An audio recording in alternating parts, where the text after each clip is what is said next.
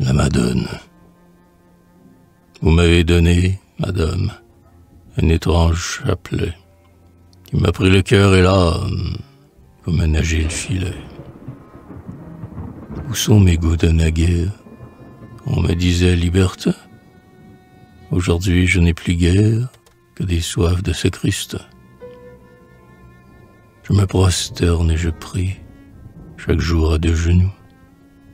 La bonne Vierge Marie qui, d'en haut, veille sur nous.